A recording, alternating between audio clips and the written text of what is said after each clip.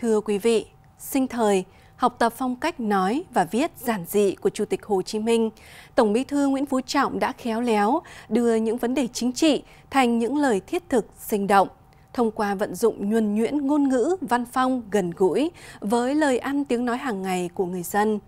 Nói cho dân dễ nghe, dễ hiểu. Qua đó, góp phần khai thông tư tưởng, củng cố niềm tin, bồi đáp tình cảm tích cực và nâng cao nhận thức chính trị cho người dân – biến niềm tin của người dân thành những hành động cách mạng, ích nước, lợi dân. Một trái tim lớn đang ngừng đập với 80 tuổi đời, 57 năm tuổi đảng. Tổng bí thư Nguyễn Phú Trọng là một tấm gương sáng ngời cho các thế hệ đảng viên hôm nay và mai sau.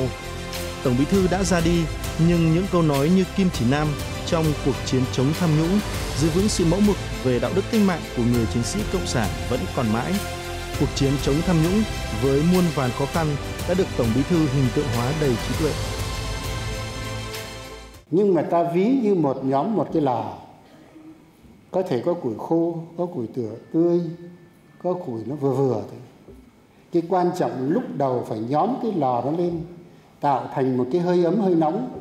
Lúc bây giờ củi khô, củi tươi vào cháy hết. Việc thiếu công bằng cũng được Tổng Bí thư chỉ ra như nguyên nhân của bất ổn mất đoàn kết trong xã hội. Khó khăn thì anh đẩy cho người khác, lợi ích nhóm thế thì ai chịu được, mà tôi lại nghèo thế này, anh thì thế kia, thì sinh, sinh ra mất lòng tin là phải đấy. Trong cuộc chiến chống tham nhũng, có những khi tinh thần kiên quyết triệt để được Tổng Bí thư đề cao. Chúng ta đang phát lệnh truy nã ra cả quốc tế, đang phối hợp với các cơ quan ở các nước.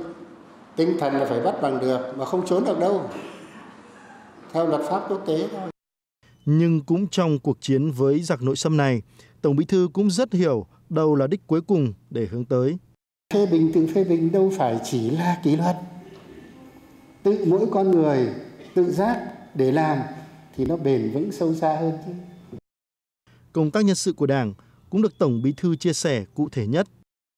Cán bộ thì phải có đức có tài, như phải như lời Bác Hồ nói, đức là gốc Nguyễn Du Truyền Kiều và ta vừa kỷ niệm 250 năm đây thiện căn bởi tại lòng ta chữ tâm kia mới bằng ba chữ tài và cuối cùng điều quan trọng nhất đối với một con người trong cuộc đời này theo tổng bí thư đó chính là danh dự. Danh dự là điều thiêng liêng cao quý nhất. Tôi vẫn hay nói như vậy.